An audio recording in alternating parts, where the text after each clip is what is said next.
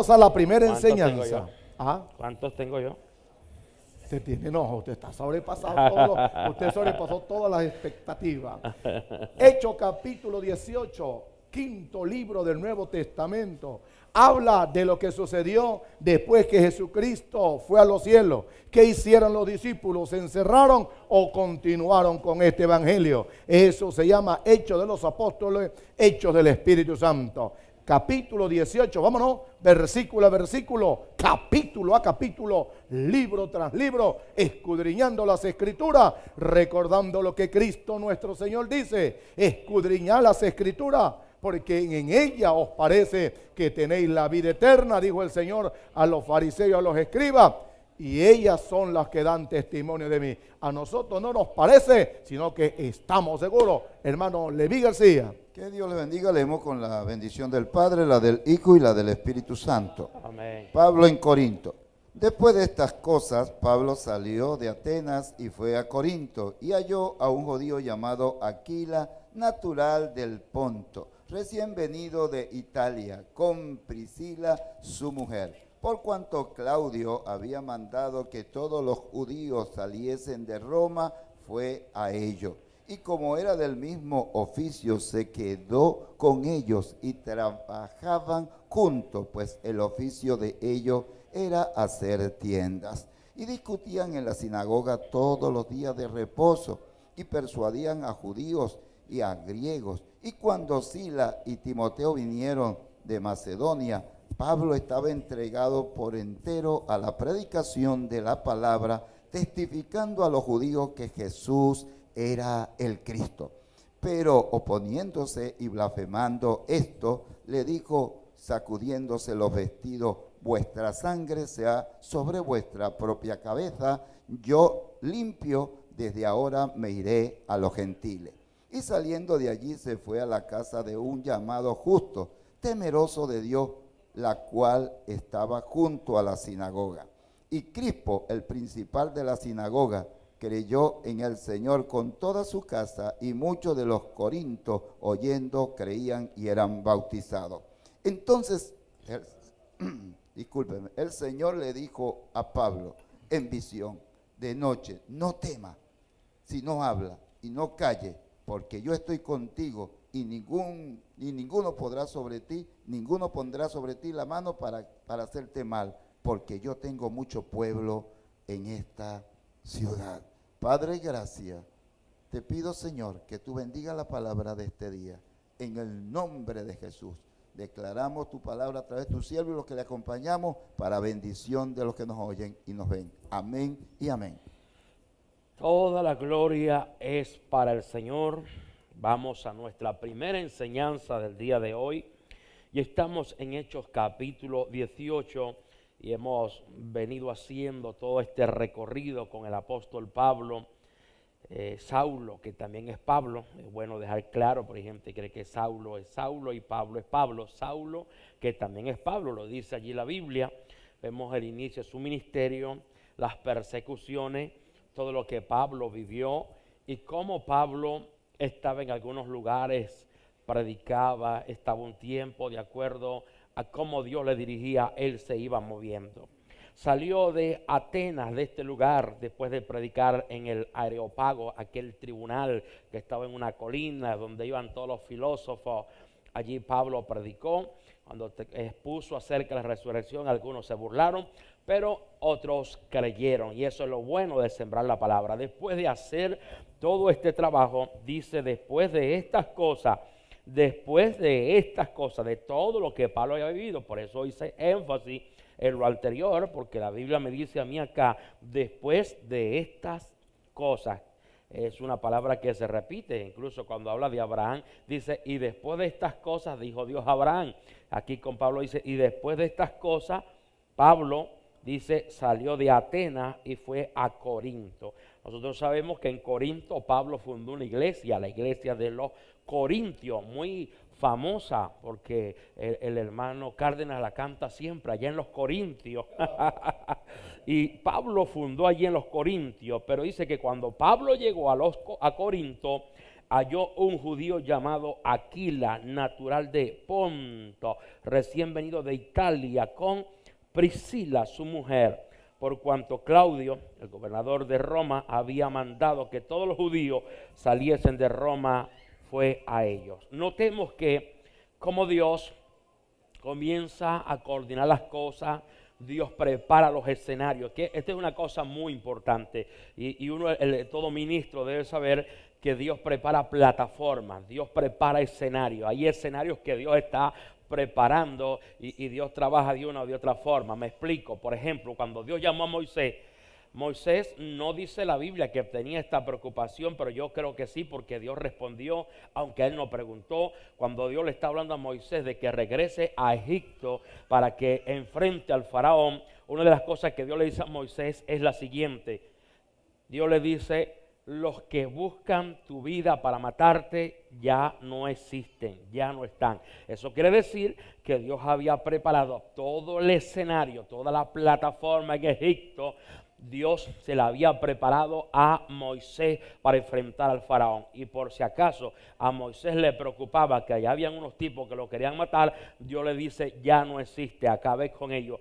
Dios prepara los escenarios y Dios lleva a Pablo a los Corintios y resulta que como Pablo va solo porque tuvo que quedarse Silas y Timoteo, entonces Pablo va solo, Dios ya le tenía preparado eh, una pareja que lo iba a ayudar. Entonces cuando Dios mueve, mire las circunstancias, Dios usa las circunstancias y este es algo muy clave, Dios usa las circunstancias, usted no tiene, a veces vemos ciertas circunstancias y comenzamos a hablar mal a murmurar.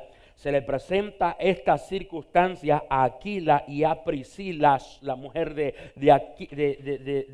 de, Aquila, allá en, Italia. Tienen que salir de Roma, tienen que salir de este lugar y se vienen aquí a Corinto Dios mueve a Aquila y a Priscila, los mueve, y al mismo tiempo está moviendo a Pablo. Fíjese cómo Dios va moviendo las piezas, eso se llama a favor de Dios. Dios te prepara cosas de antemano, Dios te prepara las cosas, así como cuando Saúl tomó el reinado, ya Dios le tenía preparado un lomito que se lo iba a comer. Yo quiero decirte que Dios tiene cosas preparadas, Dios incluso tiene gente preparada para ayudarte en el proyecto de fe que tú estás emprendiendo. Tú no sabes, pero Dios está moviendo las piezas, Dios está obrando en las cosas que tú no puedes ver con tus ojos, como dice allá Eclesiastés 11:5, así como ignoras el viento y cómo crecen los huesos en el viento de la mujer, así tú ignoras la obra de Dios. Dios está obrando en las cosas que tú no puedes ver con tus ojos. Es como el padre de familia, según el libro de Marcos, que sembró la buena semilla y mientras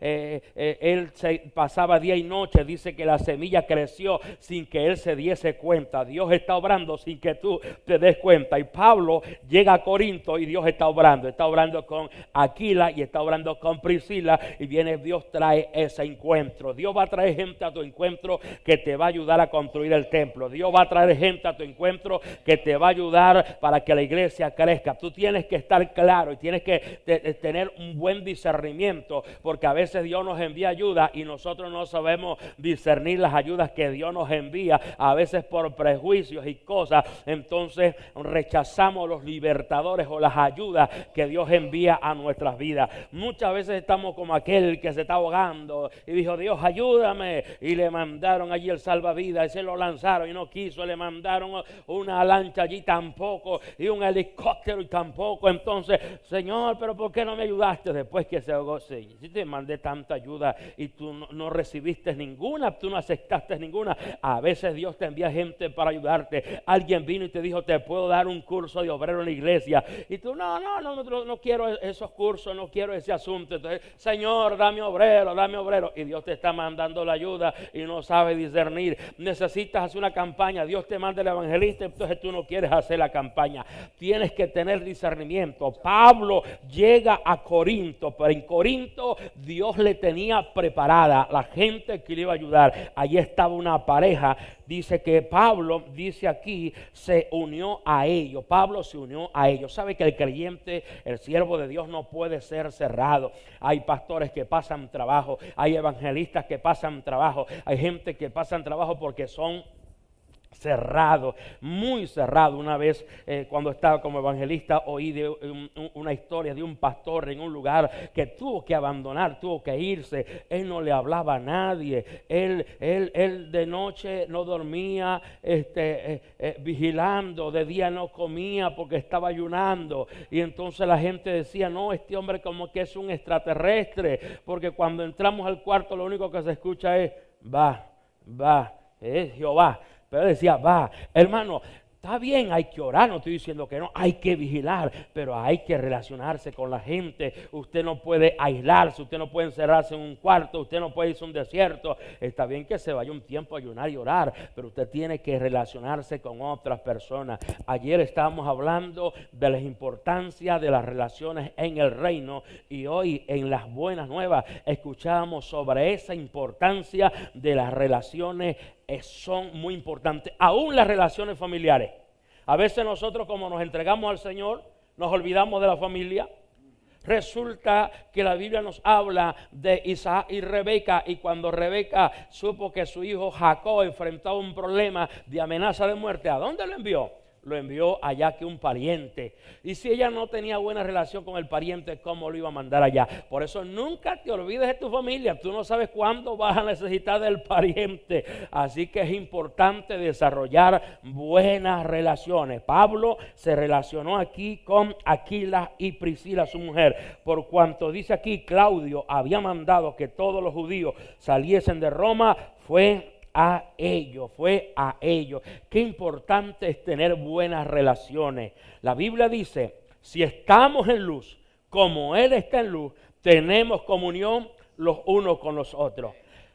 Buenas relaciones es señal de que tú estás en luz. Malas relaciones es señal de que la gente anda en tiniebla. Imagínense que la Biblia dice que el que no ama a su hermano permanece en muerte y en otro pasaje dice permanece en oscuridad.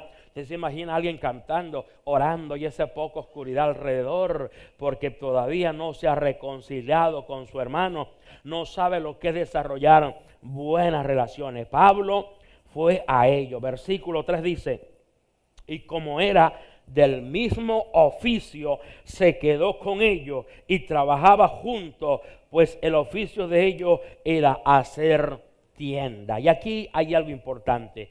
Pablo se encuentra con estos hermanos, se une a ellos, se relaciona con ellos. Tú no puedes juzgar a nadie sin antes no, haber, no haberle oído, lo dice por allá Nicodemo. Nicodemo dijo, nuestra ley no juzga a un hombre sin antes no oírle. ¿A cuánta gente nosotros juzgamos a veces? Ni siquiera hemos escuchado una predicación de ellos, pero hablamos porque otro habló por allá, porque a alguien se le ocurrió decir algo. Nicodemo le dijo a, a los fariseos, a los sacerdotes, cuando estaban hablando mal de Jesús, nuestra ley no juzga a un hombre si primero no le escucha. ¿Cuántas veces juzgamos a la gente sin escucharle? Pero aquí vemos que Pablo no jugó este, se relacionó con ellos. Y aquí en el verso 3 dice que eran del mismo oficio. Cuando tú te acercas a alguien, te identificas, encuentras que, que, tiene el mismo Dios que tú tienes, que cree lo mismo que tú crees, y, comienzas a, a, relacionarte porque entonces vas a encontrar que es de tu mismo oficio. El oficio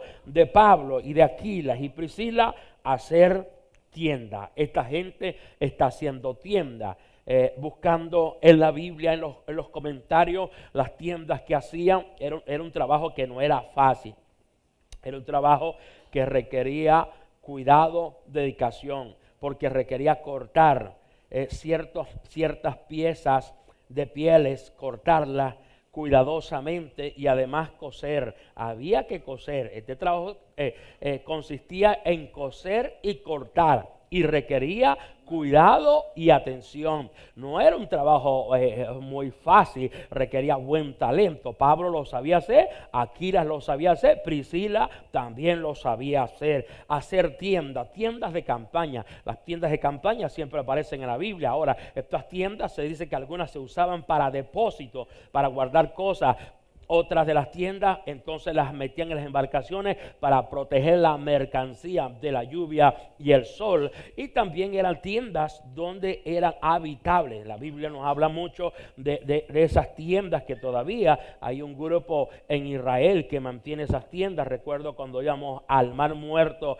hace eh, en el 2006 oí al guía mm, del tour explicándonos sobre esta gente que todavía tienen ovejas, viven en las tiendas, están por allá aislados, incluso creo que no van a las escuelas. ¿Cómo que se llaman? Nómadas. Nómadas, ok. Hermano, lo importante aquí que te quiero decir es que Pablo trabajaba y esta gente trabajaba. Y es muy importante que nosotros aprendamos que tenemos que trabajar. Si alguien dice voy a meterme a predicador para no trabajar, está equivocado. Pablo aquí trabajaba, trabajaba, predicaba y trabajaba. Ahora, te quiero aclarar algo porque luego vamos a ver el verso 5. Todo hay, en la Biblia lo que se llaman verdades absolutas y verdades circunstanciales. Cuando hablamos de una verdad circunstancial, es algo que tiene que ver con una circunstancia. Por ejemplo, en este versículo Pablo trabajaba, y Pablo lo dice en otras de las cartas, que sus manos les habían servido. Esa es una verdad circunstancial. La obra está comenzando, se está comenzando una obra, no puedes esperar que la gente te mantenga, que la gente te sostenga, tienes que trabajar. Y esto es muy importante. La mayoría de nosotros que somos pastores y evangelistas sabemos que hubo un tiempo que tuvimos que trabajar, trabajar materialmente y trabajar espiritualmente. Conocemos el testimonio del hermano Puerta cuando fundó la obra que él, él se dedicaba a formigar, hermano, a trabajar con su avioneta y de noche predicaba en su libro ministro, ministerio y evangelización. Dice el pastor Puerta que él no recogía ofrenda hasta que en una campaña en Barquisimeto, si mal no recuerdo, dice el libro, que el pastor Puerta se dañaron los sonidos, su hermano fue a visitarle y está en esa situación, no tenían dinero para comprar otro sonido, para arreglar el sonido. Su hermano reunió al equipo y dijo, ustedes quieren que el hermano Puerta sea un predicador común, corriente, o quieren que sea un predicador fuera de lo común, que tenga gran éxito en el ministerio. Entonces su hermano planteó de recoger las ofrendas y desde allí se comenzó a recoger ofrendas en la campaña y luego el pastor Puerta se desligó de formigar en, el día, ahora estaba por entero a la predicación. Y gracias a eso están todas estas misiones en Guanare, en Barquisimeto, en El Tocuyo, en Carora, en Maracaibo, en Falcón, así es, la obra ha crecido, ya no podemos esperar que el hermano Puerta esté formigando, hermano, son verdades circunstanciales. Dice aquí, hermano, en el versículo 4 que él trabajaba, Pablo trabajaba, eh, aquí las trabajaba y mientras trabajaban, dice, discutían en la sinagoga todos los días de reposo, persuadían a judíos y a griegos. Dos cosas hacían discutían. Discutir, hermano, no era que peleaban a golpes, discutían era debatir, debatir puntos bíblicos importantes. El mensaje era debatido. La Biblia nos enseña, y esto es muy importante aclararlo, que el siervo de Dios, lo dice el mismo apóstol Pablo, el siervo de Dios no debe ser contencioso esa palabra se refiere a no ser contencioso personal, que yo me ponga a contender con el hermano Henry, con el hermano Levi. Hermano, no debo ser contencioso en cosas personales, pero en cuanto a la palabra de Dios sí tengo que contender. Dice el apóstol Pedro que presentando con macedumbre defensa a todo aquel que demande respuesta de nosotros, hay que debatir, lo dice allí. Y el mismo apóstol Judas también dice combatiendo por la fe unánime. ¿Sabe lo que es combatir, sabe lo que es debatir, sabe lo que es defender, es pelear con la idea, con el mensaje, con la visión, con lo que el mensaje de Dios. Eso es lo que Pablo hacía, él no estaba peleando dando golpes, no, él discutía punto por punto, debatía la palabra del Señor con ellos. Él estaba eh, eh, hermanos, presentando la verdad. Y dice persuadía, no solamente discutías, al decir que persuadía, iba convenciendo, los inducía a un cambio, a buscar al Señor. Estaban en la sinagoga, Moisés era el que era predicado en la sinagoga, ni no Jesucristo. Ahora Pablo, lo dice acá, uno de los versículos, dice que eh, Pablo persuadía, dice el verso 13, quiero adelantar el verso 13, dice, este persuade a los hombres a honrar a Dios contra la ley. Eso es lo que Pablo hacía. Persuadir a los hombres a honrar a Dios. Qué importante, hermano, es que nosotros persuadamos. Persuadir es llevar punto por punto es muy importante. Yo recuerdo, yo prediqué en un caserío donde eran muy religiosos, católicos, idólatras. ¿Cómo logramos persuadir a la gente? Primero repartíamos un tratadito que decía el sacerdote que encontró a Cristo. Y luego hicimos la campaña muy estratégicamente. Una noche hablamos de la vida eterna, otra noche de la muerte eterna, otra noche del cielo, otra noche del infierno. Y así la venida de Cristo. Y una noche agarramos para hablar de la idolatría. Pero esa noche me llevé una Biblia católica grandota y con esa Biblia comencé a persuadirlo. Hoy por hoy allí hay una misión, allí gracias a Dios no se construyó iglesia católica. Nosotros tenemos que aprender a persuadir. La persuasión es importante, tienes que persuadir. ¿Se acuerdan de aquel gobernador que le dijo a Pablo, por poco me persuade a ser cristiano? Tenemos que aprender a persuadir. Persuadir es convencer, inducir a un cambio, palabra por palabra. Importante persuadir a la gente que salga de la idolatría, de la santería, de la borrachera, del vicio. Hay que persuadirlo. ¿Cuántos borrachos nos dicen que ellos toman licor porque Cristo tomó licor y cuando le dieron agua dijo que agua tan ardiente y por eso ellos toman agua ardiente? Entonces usted tiene que persuadirlo a sacarlos de ese error, de esa ignorancia ¿Cuánta gente a veces anda desnuda en la calle y dice yo ando desnudo porque Cristo andaba desnudo, en la cruz está desnudo? Él lo desnudaron, no fue que Él se desnudó. Hermanos amados, y uno tiene que persuadir, tiene que debatir, tiene que confrontar a la gente. Pablo lo hacía. Ahora el versículo 5 dice, y cuando Sila y Timoteo vinieron de, de Macedonia, Pablo estaba entregado por entero a la predicación. Fíjese que dije que era una verdad circunstancial. Yo creo que en el 5 ya no está trabajando, ahora está entregado de lleno a la predicación. Está de lleno a la predicación. Fíjese que eh, Pablo dice en una carta a los filipenses que al principio de su predicación ninguna iglesia participó, participó con él en razón de dar, ninguna. Solamente creo que dice los de Macedonia, ah, un grupito que le ayudó comenzando.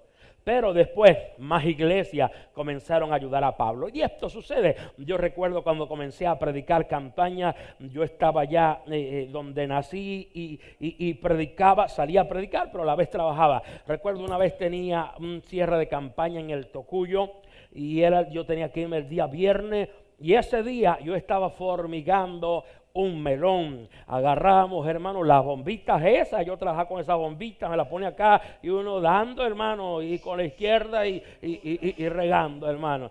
En el nombre del Señor, allí trabajando, hermano. Tres pipas de veneno vaciamos. Y después a la una, a bañarme rapidito, comí, salí y a predicar en el Tocuyo. Esa noche estoy predicando, hermano no me recuerdo el sector del Tocuyo que estaba predicando. Lo cierto es que cuando yo estoy predicando y termino de predicar y hago el llamado, pasa un hombre a entregarse. Y yo me alegro, pasó un hombre a entregarse. Y el hombre cuando está cerca dice, deme la mano. Yo le doy la mano.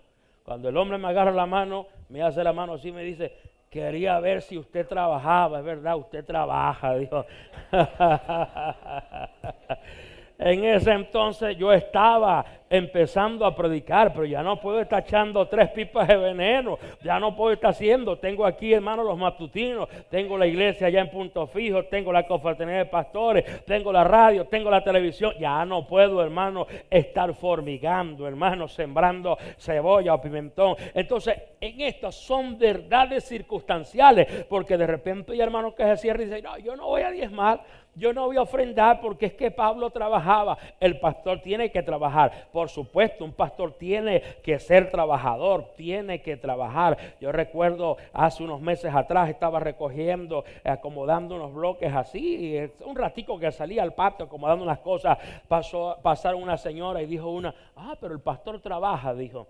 Bueno, hermano, si trabajamos. Ahora, es importante aclarar que la gente cree que trabajo es solamente echar escardilla, que trabajo es formigar, que trabajo es coser. Hermano, hay un trabajo espiritual muy fuerte. Si usted supiera, el trabajo de nosotros no tiene vacaciones. A veces tenemos que atender gente a medianoche, en el día, a la hora que llega la persona. A veces, hermano, es tremendo, hermano. Y cómo nos cuesta educar a un pueblo a que nos respete los horarios de descanso. El trabajo del pastor, hermano, es un trabajo muy grande. ciertamente el que no trabaja que no coma, pero esa es la persona que no trabaja, porque de repente puede ser que haya un pastor que, que ni trabaja materialmente y espiritualmente en la iglesia no trabaja, no hace nada. Puro comer y dormir. Ese nunca va a crecer, nunca va a avanzar. Pero todo aquel, es más, la gente que Dios llamó en la Biblia era gente trabajadora. Dios nunca llamó vago, flojo. Dios no unge flojo. Dios unge gente trabajadora. Cuando llamó a Moisés, estaba con las ovejas de Jetro. Cuando llamó a Eliseo, estaba arando con los bueyes. Toda la gente que Dios llamó, ninguno estaba de vacaciones, estaba de vago. Siempre estaban ocupados. Y la gente ocupada, ¿cómo nos cuesta? A mí me costó mucho, pero hoy por hoy he aprendido a trabajarle al Señor a tiempo completo. Así que iglesia, yo te animo a que apoyes a tu pastor, el ministerio de tu pastor lo apoye para que esa iglesia siga creciendo. Quizás hay momentos cuando el pastor tiene 20, 30 ovejitas, a veces tiene que salir por allí quizás a vender unas empanaditas o, o, o alguna bandeja de comida pero llega el momento cuando la iglesia crece, que ya se pasan de unas 60 personas, hermano, te demanda y ya no puedes andar por ahí distribuyendo bandejas de comida. Ahora tienes que orar, vigilar, ayunar y atender a tus ovejas. Dice aquí terminando, y cuando Silas y Timoteo vinieron de Macedonia, Pablo estaba entregado por entero a la predicación de la palabra, testificando a los judíos que Jesús era el Cristo. Ese es el mensaje. Testificar que Jesús es el Cristo. Es a Cristo que tenemos que levantar. El pastor Puerta siempre lo dice y la Biblia lo dice. Yo si fuere levantado, dijo Jesús, qué bueno es levantar a Jesucristo. No estamos para levantar una organización, no estamos para levantar a un hombre. Hay que levantar a Jesús. Que Dios nos bendiga. Seguimos adelante. ¿Estamos de acuerdo? Cielito. ¿Dónde está el cielito? Levante la mano el cielito para ver. Tenemos rato que nos damos gloria a Dios. Gloria a Dios. Gloria a Dios. Versículo 6, hermano Leví. Bueno, nos sentimos contentos de verdad porque me llamó mucho la atención esa palabra que viene disertando la palabra persuadir. Y qué importante de verdad, yo quiero conectarme contigo a lo que vienes hablando, pero la tristeza para algunas cosas es que hay que ver la moneda del otro lado también, y es que cómo persuaden algunos si se la pasan es puro viendo novelas. ¿Cómo persuaden algunos si están puro dormidos? Que cuando la mamá le dice que vayan a lavar los corotos, no. Mañana, después. ¿Cómo persuaden algunos si no leen las escrituras? Entonces yo creo que para los que están escogidos en el sentido de extender este reino, es necesario persuadir. Muchos son los allegados y pocos son los escogidos. Aquí comienzo con un versículo que nos va a ayudar bastante. Pareciese que nos estamos desprendiendo o distanciándonos de lo que el hermano viene, pero es una enseñanza acá que estaba profetizada y se tenía que cumplir. Dice, pero oponiéndose y blasfemando estos, les dijo, sacudiéndose los vestidos, vuestra sangre sea sobre vuestra propia cabeza, yo limpio, desde ahora me iré a los gentiles. Y saliendo de allí se fue a la casa de uno llamado justo, temeroso de Dios, la cual estaba junto a la sinagoga y Crispo, el principal de la sinagoga, creyó en el Señor en todas, eh, con toda su casa y muchos de los, de los corintios oyendo creían y eran bautizados. Yo creo que esta escritura ya nos empieza a abrir, como dije al principio, y aquí encontramos opositores, pero oponiéndose y blasfemando. Los opositores siempre quieren blasfemar. Cada vez que usted emprende un trabajo para el Señor, se va a encontrar con gente que le va, se van a oponer y que van a blasfemar. Y lo triste es que la escritura dice que cuando alguien blasfema sobre el obrero de Dios, no lo hace sobre el obrero de Dios, lo hace sobre Dios. Porque la escritura bien clara lo dice, que el que rechaza al obrero de Dios no rechaza al obrero, sino que a Jesucristo. Y el que rechaza a Jesucristo rechaza al Padre que lo envió. Entonces cuando alguien blasfema, a ese trabajo y a esa bendición de ese hombre lo están haciendo contra quién? Lo están haciendo contra Dios. Por eso los que se han emprendido a hacer trabajo no se detengan, por favor, sigan adelante, que a su debido tiempo van a ver la recompensa, porque Dios es bueno. Y dice la escritura, y, y blasfemando esto, les dijo, sacudiéndose los vestidos, vuestra sangre sea sobre vuestra propia cabeza, yo limpio, desde ahora me iré a los gentiles. Cuando él dice yo limpio, es que este hombre había escrito en las escrituras, sé imitadores de mí como yo de Jesucristo. O sea que tenía moral para enseñar. Este hombre es como dice la escritura, estando pronto a castigar toda desobediencia cuando vuestra obediencia sea perfecta. Nadie puede mandar, decir que se haga si usted no está viviendo lo que se manda a hacer. Y si lo hace, se está comportando como los judíos, como los escribanos, que Jesucristo los llamó como los llamó hipócritas, los llamó sepulcros blanqueados, que por, dentro, por fuera se ven muy bonitos, pero por dentro lo que hay es putrefacción. Entonces la hipocresía sería mandar a hacer algo a alguien que usted no lo puede hacer. Ahora, acá nos encontramos en esta parte. Yo le dije que una parte que ya estaba profetizada por los profetas, y entre estos Isaías, de que Jesucristo sería predicado a los gentiles por el rechazo de los judíos. Y nosotros no podemos este, apartarnos de esta gran verdad, porque esta gran verdad nos la enseña a nosotros.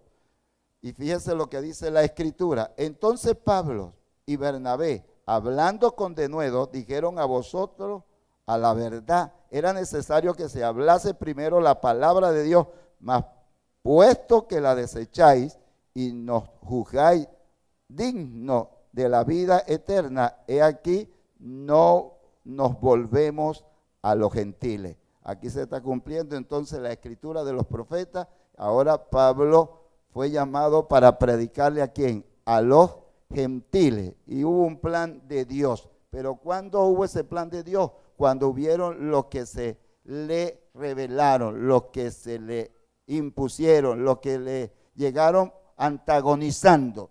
Ahora esto quiere decir que nosotros debemos estar claros que la oposición va a venir.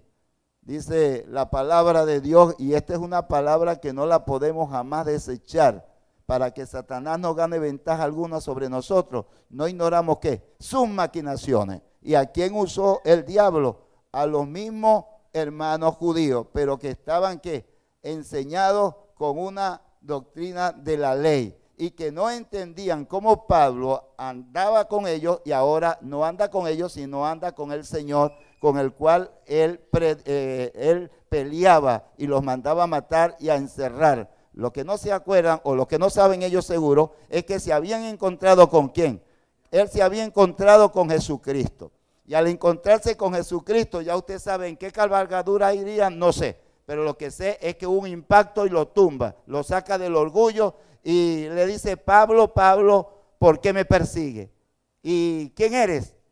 Y ahora cuando dice, dura cosas te dar contra el aguijón, dura cosas, dura cosas es dar cosas contra el aguijón. O sea, es como patear, echar patadas a algo punzo penetrante. Él estaba pateando el poder y el poder no se puede patear, el poder no se puede antagonizar. Para poder ir bien con el poder hay que caminar. Y el poder se llama Jesucristo. Y ahora tiene esto como qué? Los tiene como antagonistas, los tiene como contradictores. Y entonces, después que él dice que está limpio, desde ahora miré a dónde?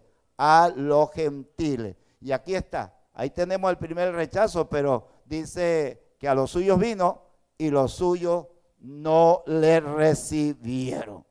Ahora, estos profetas profetizaron de Pablo con relación a los gentiles, que él se iría a los gentiles desde mucho antes. Y eso nosotros no lo podemos negar ni lo podemos obviar. Los profetas dijeron que Pablo sería como luz del mundo para los gentiles. Y nosotros tenemos que estar claros que eso sucedió.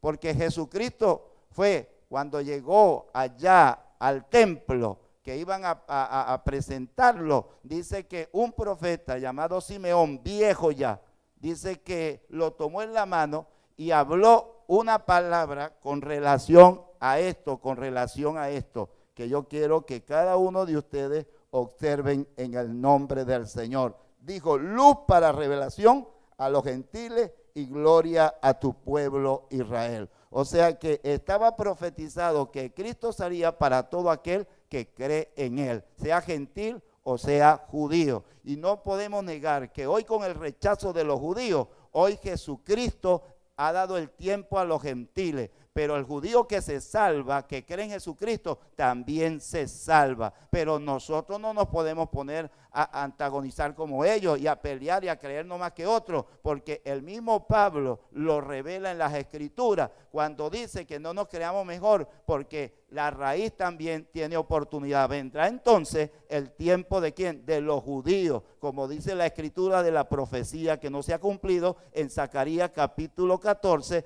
13 y 12 y que identifica allí que Jesucristo aparecerá para qué? Para darle oportunidad que a los judíos, pero los gentiles que se han quedado en la gran tribulación con todo temor, respeto, lo digo, tendrán oportunidad también de qué? De ser salvos, porque esta es una bendición. Y yo no lo estoy diciendo para que usted se quede, pero le quiero decir que hay una cosa muy importante que usted debe tomar en cuenta. Y lo que usted debe tomar en cuenta es que si difícilmente a usted se le hace salvarse hoy con el Espíritu Santo, ¿cómo será cuando no esté el Espíritu Santo? Algunos se asombran y dicen, hermano, ¿y cómo es que no va a estar el Espíritu Santo? Porque el Espíritu Santo entregará a la iglesia a Jesucristo en el aire, en el recto, y todos nos iremos con el Señor. Yo no sé si vendrá como en el tiempo de los, de los profetas, en los tiempos antiguos, que el Espíritu Santo vendría, pero aquí el Espíritu Santo no se va a quedar. Pero de una cosa estoy seguro, usted que está viviendo una vida fría, usted que está viviendo una vida sin comunicación, sin búsqueda con Dios,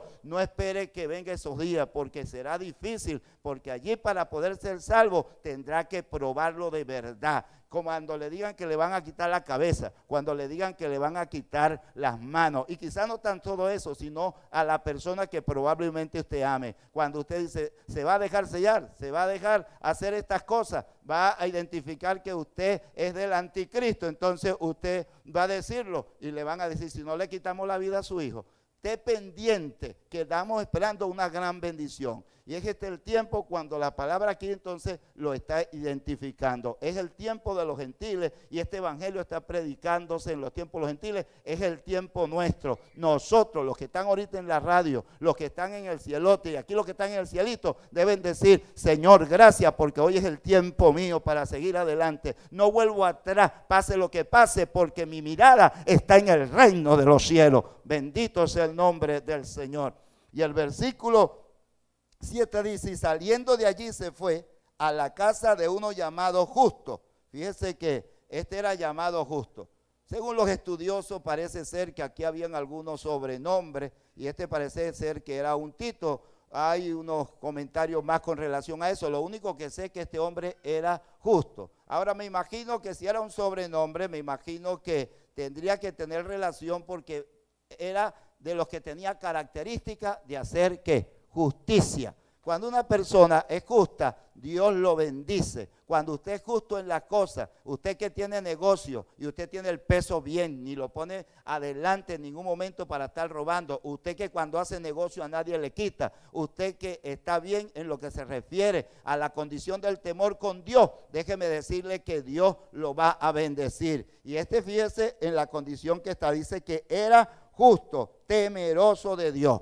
Una persona que es temerosa puede tener justicia porque la palabra dice que el principio de la sabiduría es el temor a Dios. Si usted tiene temor, no cae en la droga. Si usted tiene temor, no le quita la mujer al prójimo. Si usted tiene temor, y yo no estoy hablando de miedo, estoy hablando de respeto a Dios, de consideración a saber que hay alguien en el reino de los cielos. Nadie entonces le quitará, oiga, porque usted tiene temor de Dios. Si usted tiene temor de Dios, Créalo, si usted tiene temor de Dios, le aseguro por todos los medios, le aseguro por todos los medios, que en ese temor que usted tenga a Dios, usted no caerá ni fracasará, porque la Escritura dice que por muy torpe que seamos, no nos saldremos de la senda. Y alguien con temor, entonces tendrá a Dios de su parte. Y el que tiene a Dios de su parte, tendrá victoria por tiempo, porque Dios nunca ha perdido un pleito. Y fíjese que la escritura dice cuál estaba junto que a la sinagoga. O sea que estaba claro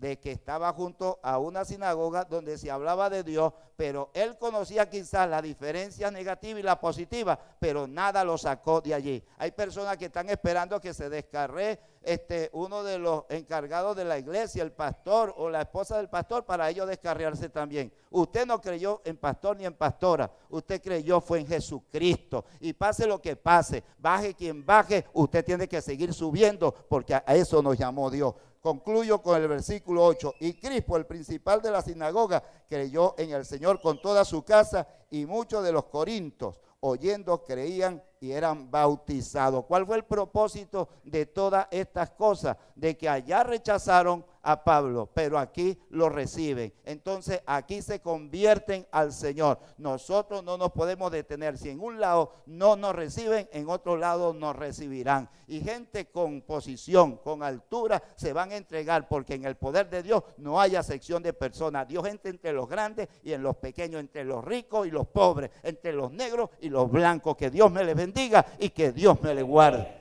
Amén. Toda la gloria es para el Señor. Gracias, hermano pastor Levi García. Que Dios te bendiga. Y estamos viendo el trabajo del apóstol Pablo.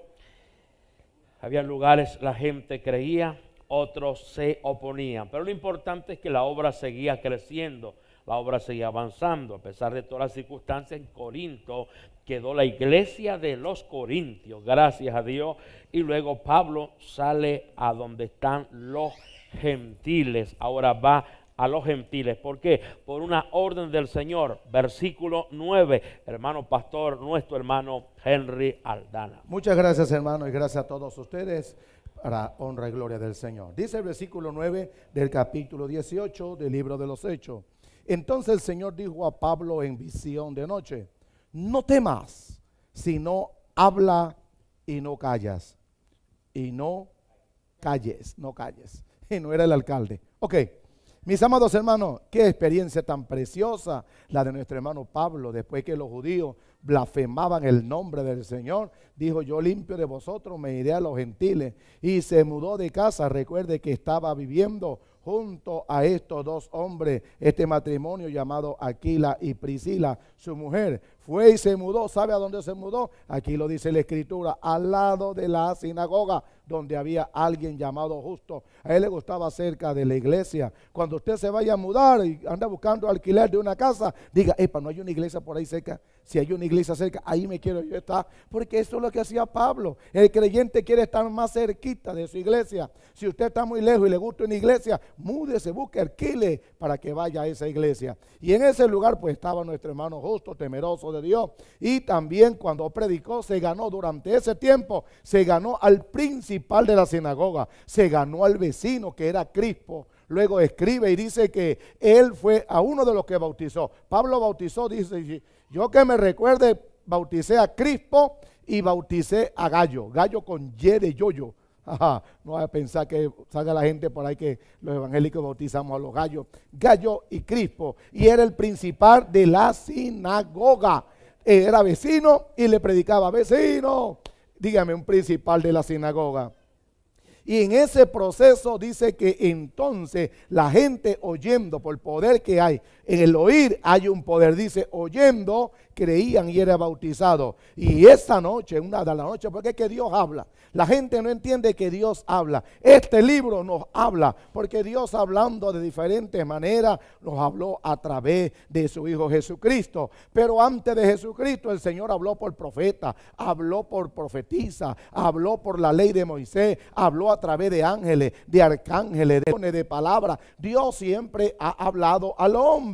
Dios habló hasta por una burra la burra le habló al profeta Balaán y le dijo, ¿por qué me golpea? ¿Por qué me golpea? Y entonces él oyó hablando a través de una burra. También habló a través de una vaca, porque siempre conocemos la historia de la burra, pero nunca hablamos de las vacas, aquellas vacas que estaban en aquel lugar.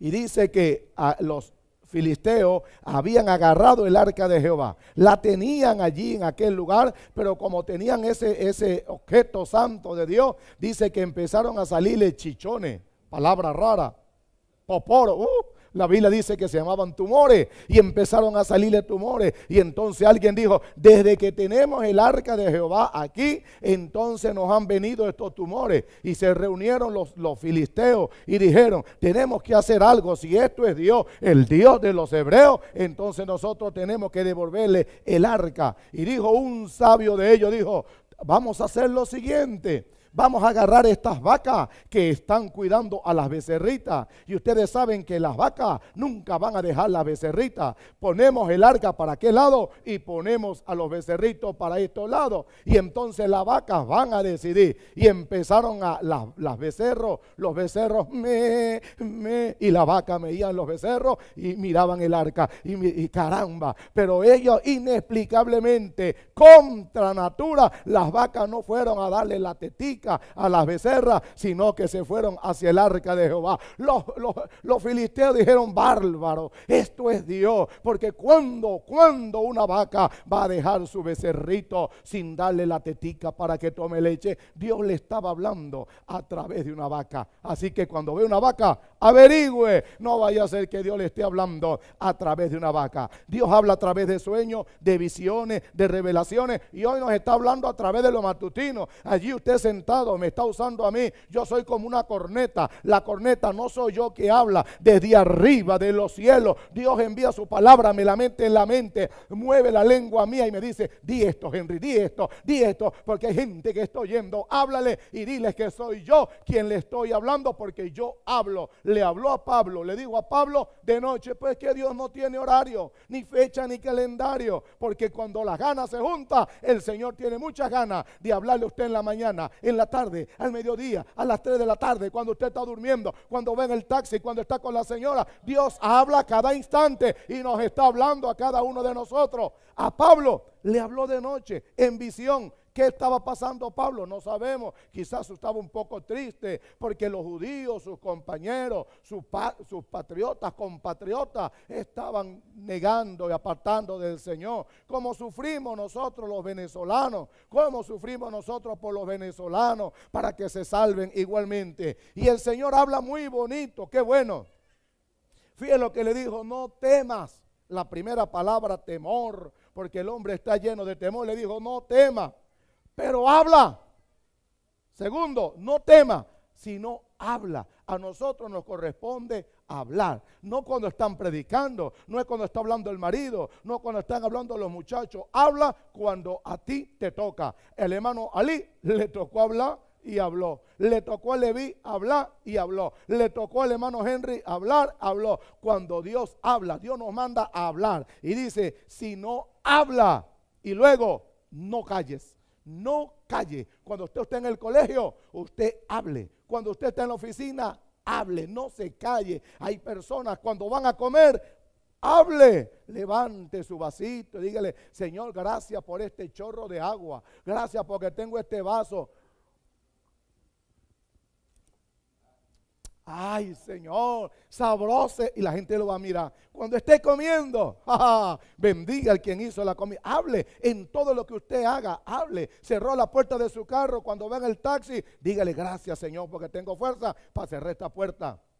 Y dígale al taxista, taxista, lléveme a aquel lugar. Pero va llorando porque estoy orando por usted. Hable, hable, no calle. ¿Por qué? ¿Por qué tenemos que hablar? ¿Por qué no tenemos que callar? Porque hay una palabra bonita para nosotros que nos conforta. No estamos solos en este mundo. No crea que su confianza debe estar colocado en los hombres, en la naturaleza, en el sueldo, las estatiques. No, hay una palabra para toda la humanidad. Hay una palabra para los guanareños. Hay una palabra para la madre de familia que se siente sola. El padre de familia que está desesperado porque no consigue trabajo y la situación se le ha puesto difícil. Hay una palabra para el que está enfermo. Los médicos le han dicho no hay oportunidad. Hay una palabra para el joven que cree que todo lo tiene. Dice Dios de gran manera, yo estoy contigo. Donde usted se encuentra, usted que es un descarriado y usted piensa que el Señor no está con usted, el Señor está allí a tu lado esperando que tú abras la boca porque el Señor le dice no calle, abre la boca, pide pídeme y yo te daré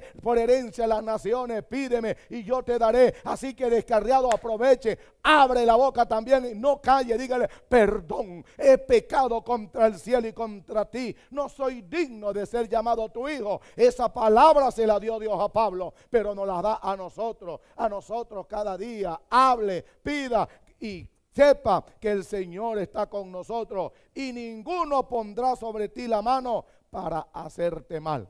¿Quién va a poner la mano sobre mí? ¿Quién se va a meter conmigo? Si conmigo está el poderoso de Israel. Jehová peleará por vosotros y vosotros estaréis tranquilos. No intente ponerme la mano encima porque yo tengo al Señor quien me protege y me cuide. Se lo dijo a Pablo, a usted también en su casa. Reprenda al diablo por la enfermedad, por la miseria. Declare victoria. ¿Recuerda usted cuando estaba pequeño y veía en las películas en blanco y negro cuando Tarzán vencía a la leona y al león o al tigre? Pegaba un grito y decía, ¡Ja, ja, ja! Y entonces nosotros nos veíamos esa broma y nos emocionábamos. Pero ahora sabemos que hay alguien más poderoso, rey de reyes, el que venció la muerte, resucitó al tercer día, viene a la tierra por segunda vez, está con nosotros, nos dice, hable, no callo, yo estoy contigo, nadie te podrá hacer mal. ¿Quién ha prometido tanto? Y él lo cumple, así que diga gloria a Dios, levante sus manos y diga aleluya, sacuda los pies en su casa y diga, tengo victoria en Cristo, el Todopoderoso poderoso, aleluya. Porque yo tengo, porque yo tengo mucho pueblo en esta ciudad. ¿Será que Dios tiene mucho pueblo aquí en Guanare? ¿Será que hay mucho pueblo de Dios en Guanare? Si hay evangélicos en Guanare que digan amén? ¿Será que hay muchos evangélicos en el Guanare que dicen aleluya? En el barrio suyo se oye los matutinos, en el colegio. ¿Será que el Señor tiene muchos pueblos en Guanare? Yo sí sé y estoy seguro que en Guanare hay muchos pueblos. 45 misiones de nuestra organización. Tenemos radio y otras organizaciones. Hay muchos pueblos, un mucho pueblo en Guanare, en Acarigua, en Maturín en punto fijo, aleluya. ¿Hay mucho pueblo o no hay mucho pueblo? Tenemos radio. Tenemos televisión. Así es. Tenemos iglesia. Así ¿Cuántas iglesias hay en punto fijo? De la obra hay 14. Dígame eso, mucho, mucho, mucho, mucho pueblo. Pero eso no es nada. Van a venir más, van a venir más. Decretamos más creyentes. Y se detuvo, como Dios lo animó. Si usted está desanimado, es el momento que mire se anime, se anime, se anime, se glorifique a Dios. Se detuvo allí un año y seis meses enseñándoles la palabra de Dios. ¿Qué enseña usted?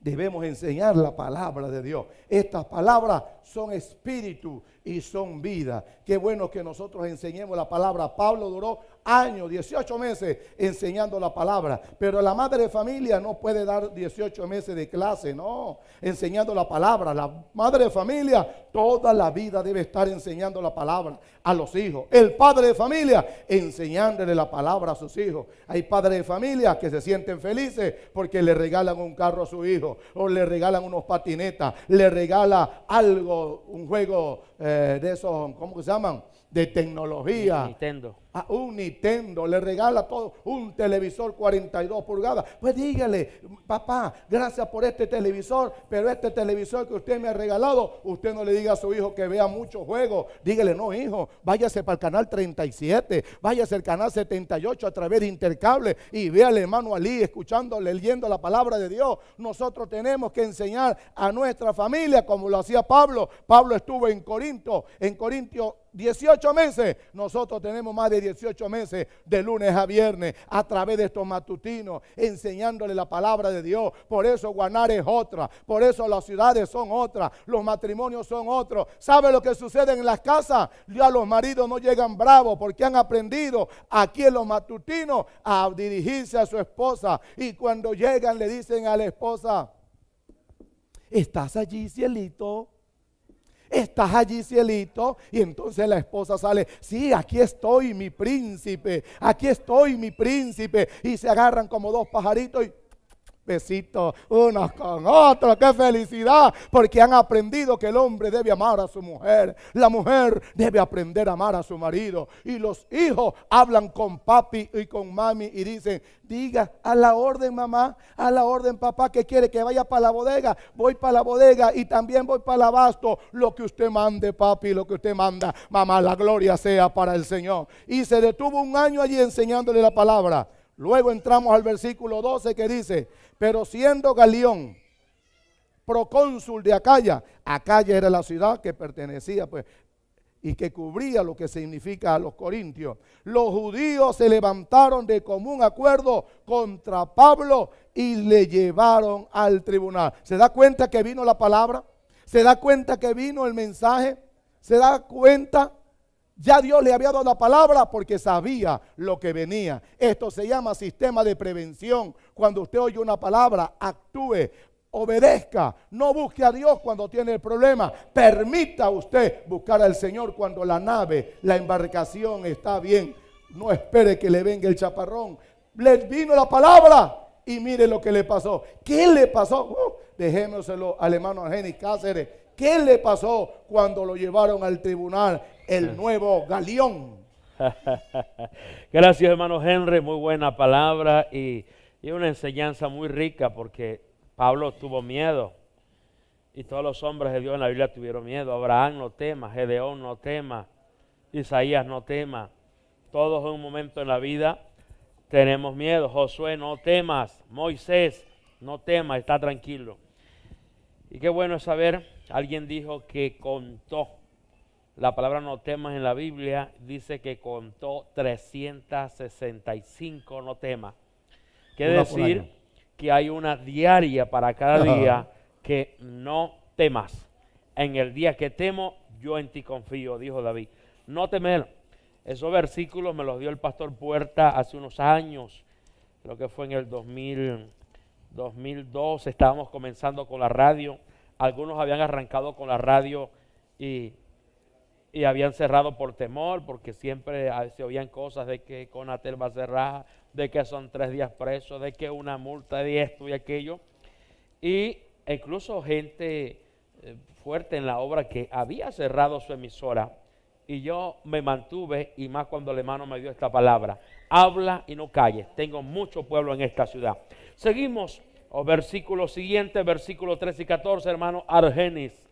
Amén. Continuamos con esta enseñanza. Encontramos acá a Pablo frente al tribunal. Hermano Pablo es llevado al tribunal, se levantan unos judíos, se levantaron en común acuerdo contra Pablo. Pablo predicando la palabra del Señor.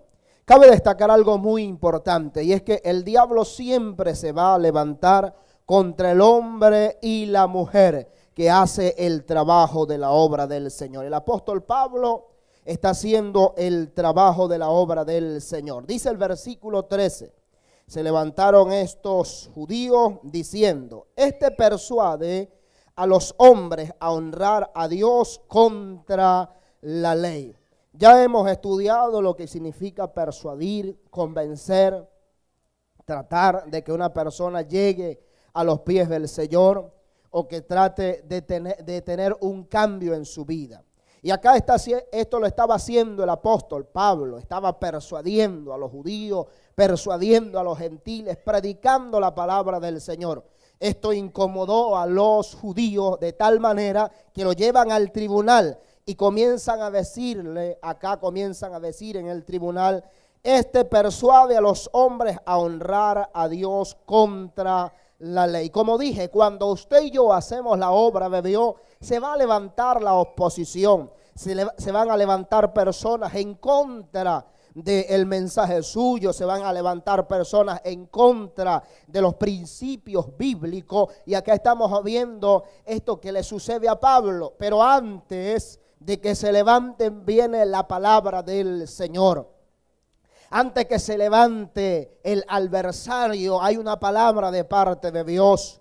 Quizás hoy usted está pasando por ese momento difícil de su vida. Quizás se está levantando en su familia. Quizás es un hermano suyo que se está levantando. Aquí está la palabra notable que debemos recalcarla. Es no temas, habla, no calles. Y esto fue lo que el Señor le dijo a Pablo porque se le iban a levantar y de hecho así sucedió. Se levantaron los judíos, un complot contra Pablo, lo llevaron al tribunal, pero el Señor antes de que sucediese esto le dijo, no temas, hable, habla, no calles. Y sigue diciendo el versículo que acá estamos viendo, porque lo que Dios habla lo cumple. Quizás Dios le ha dicho a usted, no calle, Sigue hablando en tu familia porque haré una obra grande en tu vida. No calles en tu barrio porque tu barrio llegará rendido a los pies del Señor, pero se levanta quizás en su barrio el consejo comunal, se levanta en su barrio quizás el vecino, se levanta la vecina, pero la orden de Dios es no temas, no temas, habla, no calles porque el Señor peleará por ti el Señor hará una obra en tu vida. Y esto fue lo que le dijo el Señor a Pablo. El versículo 10 dice, porque yo estoy contigo, ninguno podrá sobre ti mano para hacerte mal. Ahora lo llevan, parece contradictorio porque el Señor le habla, pero parece que se levantaron y lo llevan allá al tribunal. Pero miren lo que sucede acá en el tribunal. Dice, y al comenzar Pablo a hablar, Galeón dijo a los judíos, si fuere algún agravio o algún crimen enorme, o judíos, conforme al derecho, yo os toleraría. ¡Wow! ¡Qué tremendo! Aquí está el auxilio del Señor. Socorro de Dios. Donde lo lleva al tribunal, la persona que estaba al frente del tribunal comienza a abogar por Pablo diciéndole a los judíos, Pablo comienza a hablar, cuando Pablo comienza a hablar, se levantó Galión, se levanta y dijo a los judíos, si fuere algún agravio o algún crimen enorme, o oh judíos conforme al derecho, diciéndole en otras palabras, yo no voy a hacer justicia o yo no voy a arremeter. En otras palabras, yo voy a hacer justicia conforme al derecho. Yo no voy a conspirar contra algo que es falso.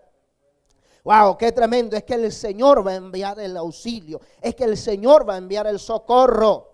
Las personas que tú menos piensas te van a ayudar, te van a auxiliar. Y acá estamos viendo, yo me imagino a un Pablo quizás sorprendido y diciendo, aquí está la palabra que el Señor me había dicho, de que me iba a enviar el socorro, de que aquí en esta ciudad hay pueblo Quizás él estaba esperando de que fuesen los hermanos que le ayudasen, pero es que Dios aún de las piedras de los impíos va a enviar socorro, así como utilizó.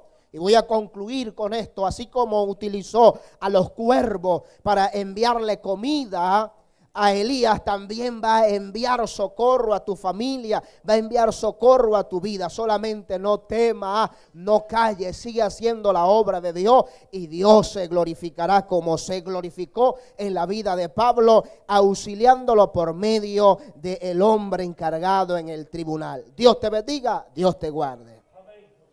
Pastor Argenis Cáceres, muy buena la palabra que ha soltado y el Señor le dice a, Pablo, no temas porque le va a hablar a gente grande, al procónsul, a los principales. A veces es fácil predicarle a alguien por allí, pero cuando se trata de gente profesional o con cargos o autoridad, pues la cosa es un poco más, más, más difícil. Pero el Señor le dijo, no temas. Llegamos a los versículos 15 y 16. Nuestro hermano Eustacio Morles. Gloria a Dios. Dice de la manera siguiente el 15. Pero si son cuestiones de palabras y de nombres y de vuestra ley, vedlo vosotros, porque yo no quiero ser juez de estas cosas. Y los echó del tribunal. Aquí vemos, mis amados hermanos, la palabra del Señor Pablo predicando allí en Corinto haciendo la palabra del Señor, difundiendo esta palabra de salvación a todos aquellos que le oían. Y él quería persuadir aún hasta los judíos cosas que se oponían grandemente contra él. Vemos, mis amados hermanos y amigos televidentes y los que están por las emisoras escuchando esta palabra, si usted viera que estos se oponían a algo bueno que les enseñaba la palabra. Mire que el, este hombre llamado el de la ley, el que estaba allí en el tribunal, él ignoró estas palabras que eran unas palabras cualquiera, eran cosas muy eh, insignificantes, pero para él.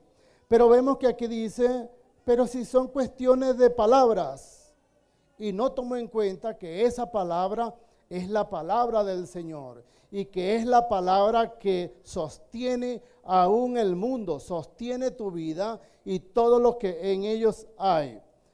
También dice, de palabras y de nombres. no lo tomó en cuenta. El nombre de Jesucristo, el creador del cielo y de la tierra, el que vino a morir por los pecadores.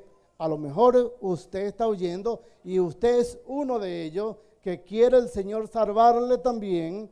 Y cuestiones de, de leyes. Bueno, la ley, la ley de Moisés, la que ya no servía para la predicación del Evangelio. Vemos aquí a nuestro hermano Pablo tratando de persuadirlos y se enojan tanto ellos que dice en el 6, voy a llegarme hasta el 6, dice, pero oponiéndose y blasfemando estos, les dijo, sacudiéndose los vestidos, vuestra sangre sea sobre vuestra propia cabeza. Yo limpio desde ahora me iré a los gentiles.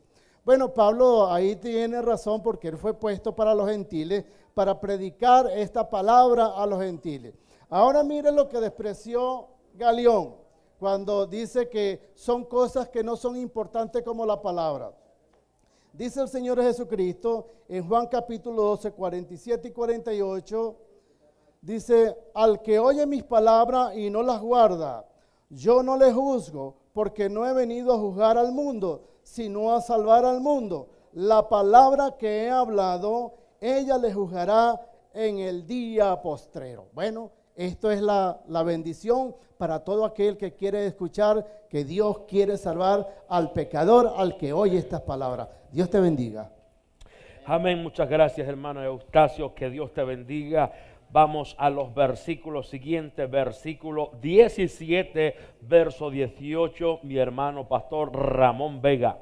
Gloria a Dios. Bueno, me corresponde el 17 y 18. Dice, entonces todos los griegos apoderándose de Sostenes, principal de la sinagoga, le golpearon, eh, le golpeaban delante del tribunal, pero a Galión nada se le daba de esto. Mas Pablo, habiéndose detenido aún muchos días allí, después se despidió de los hermanos y navegó a Siria y con Priscila y Aquila, habiéndose raspado la cabeza en Sencrea, porque tenía hecho votos.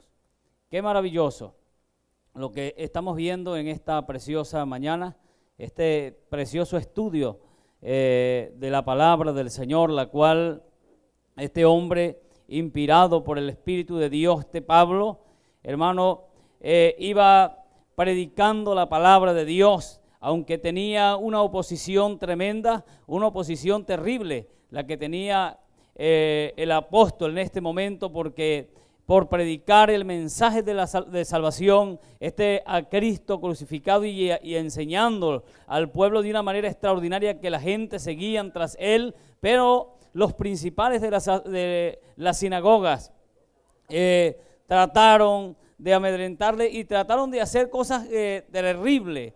Dice que esta gente pues se levantaron en contra de él y lo llevaron al tribunal.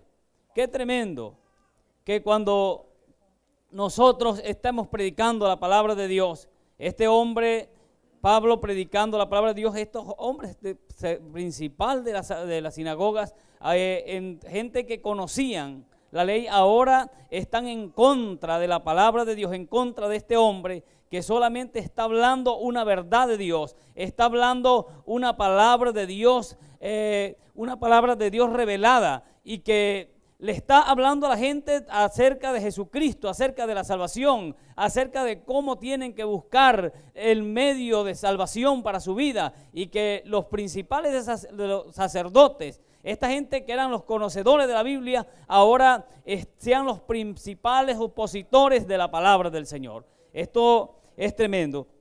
Y dice que agarrando, dice el versículo 17, entonces los griegos apoderándose de esos tenes, principal de la sinagoga le golpearon delante del tribunal, pero a Galión nada le daba de ello. Ahora vemos a este principal de la sinagoga eh, siendo golpeado, siendo eh, vituperado. ¿Por qué? Porque era uno de los que tenía que llevar eh, y pararse enfrente en contra de las cosas malas que estaban sucediendo, pero no, ahora él está siendo víctima de este pueblo, de estos principales, de esta gente que le vienen a, golpear. Ahora dice el versículo 18, más Pablo, habiéndose detenido aún muchos días allí, después se despidió de los hermanos y navegó a Siria.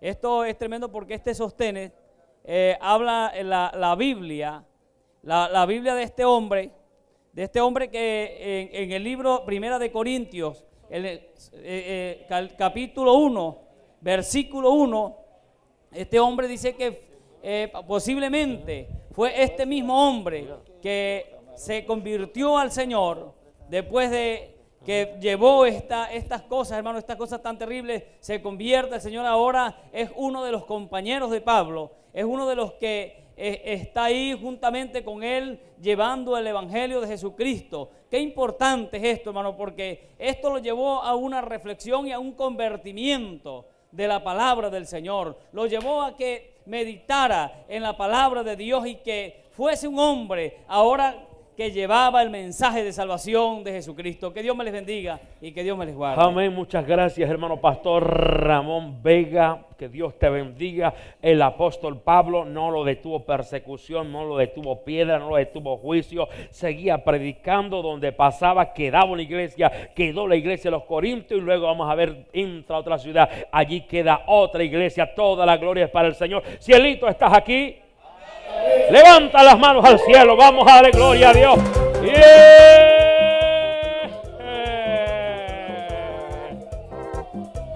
Toda la gloria es para el Señor. Llegamos al